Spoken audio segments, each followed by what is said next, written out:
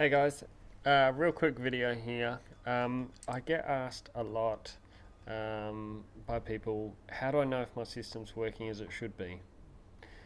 That's a really good question because most people are completely oblivious to how much solar their, their system should have produced for the day.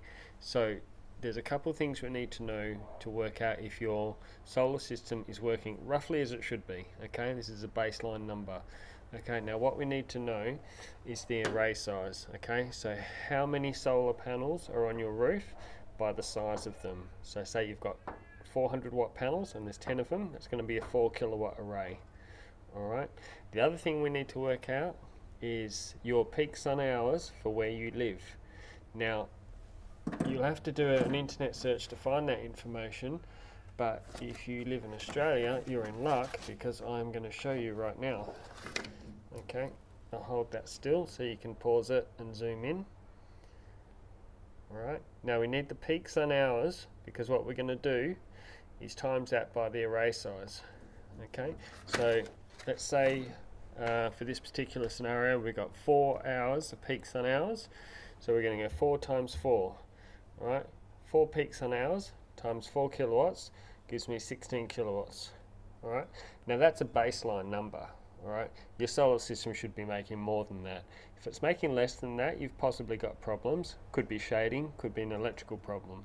Alright, um, now to get your daily production from your inverter, uh, a lot of solar, solar inverters do not have a screen anymore. Um, and if you do have an inverter with a screen, you're typically going to have three bits of information on that screen. You're going to have the power, which is what it's making right now. You're going to have the day, which is the amount of power it's made for the day. And you're going to have the total, plus other information, but that's usually what's on the home screen on your inverter.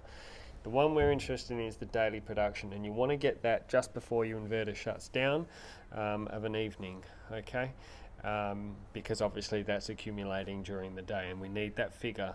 So cross-reference that against your, um, now these, these peak sun hours vary from summer to winter, so you need to get your um, peak sun hours for your, um, for your region at your time of year, okay?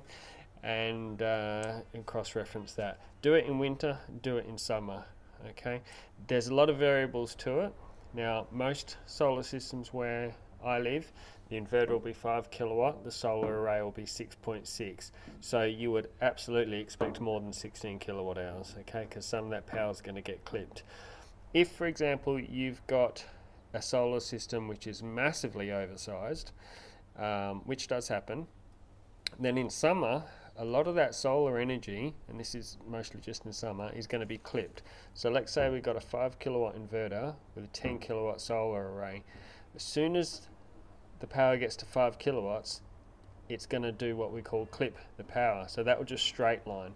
So all this solar production here is lost. Okay, so once it starts clipping, it's only ever going to make 5 kilowatts. Why would you do that? Well, the reason is in winter, and in summer, you get all this extra uh, production in the morning and the afternoon. Okay, if you just had five kilowatts worth of solar on a five kilowatt inverter, then your power curve would look more like that. It would only just touch five. In fact, it wouldn't even get to five because there's losses.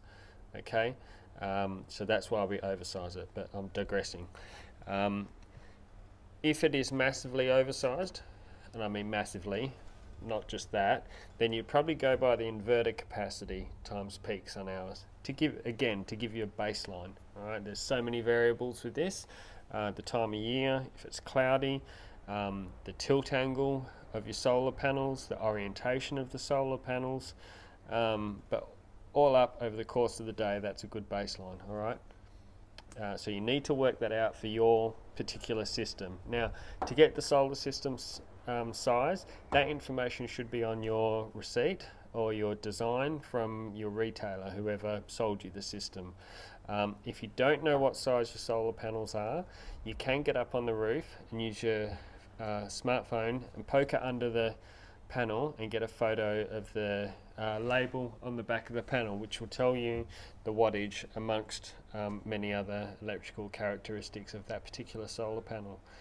Alright, so that's the manual way of doing it um, to work out whether your solar system is working as it should be. Now, if you're still getting if you're getting massive power bills and you've got solar installed, your solar's either too small or you're using more power than what your solar system can produce or you're using power at the wrong time of day. So let's say, for example, the household is empty during the day and then everyone comes home at night and turns stuff on, then you're using power at night and drawing off the grid. All that solar production's gone out to the grid and um, you might get a feed-in tariff for it, so you might get a bit of a credit for it. But you want to be using what power you can during the day to get the maximum financial benefits from your solar system. So try and use whatever power you can during the day. Set timers on appliances that you can set timers on, um, such as pool pumps, spas, you know, that sort of thing, dishwashers, dryers, um, and then try and conserve your energy at night. That way you're going to get the most out of it. Alright that's a good reason to get a battery is uh, if you got lots of excess solar which would be going out to the grid then you can store that energy in a battery and draw off it at night um, I have got another video on whether batteries are worth it um, so if you go back through my videos you can have a look at that if you're pondering whether to get a battery or not um, so like I said, there is a much easier way to do all this, and this isn't a plug for this product. This is just um, simply a product that I use on all my residential grid-connected solar systems um, because it tells me all this exactly for your particular solar system. Um, so when I set solar analytics up, I have to uh, enter all the parameters of your solar system. I have to enter uh, the orientation and the tilt angle for the solar panels. This is another chart that I use if I'm manually working stuff out, okay, um, because that greatly affects um, the production of your solar panels. So, for example, uh, this is specific to Perth, okay, this is the azimuth, so this is the orientation. So zero would be true north. So if I've got a solar panel facing true north, and it's tilted at 30 degrees, it's going to be 100% efficient. Let's spin that panel around now so it's facing south. So at 180 degrees, 30 degree tilt angle, it's going to be making 65%. And then if we push it up even further, facing south, it's going to drop all the way down to 24%. Oh, sorry, 25% efficiency. Um, so the tilt angle and the orientation makes a huge difference to the uh, production of the solar panel. That's why I say there's a lot of variables in this figure. That's just a good baseline, all right?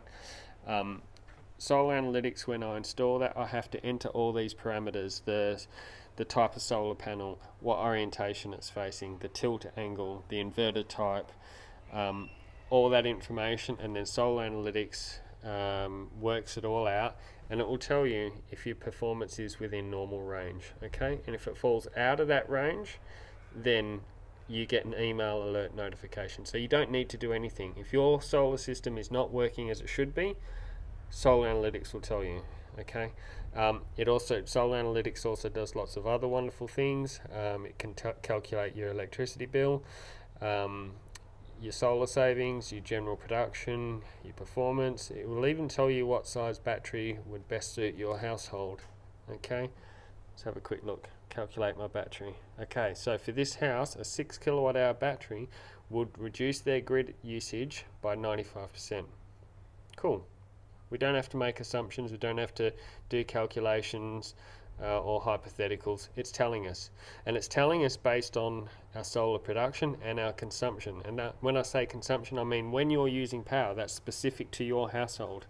Um, there's no assumptions made. Alright, hope that's helped. Thanks for watching. Cheers.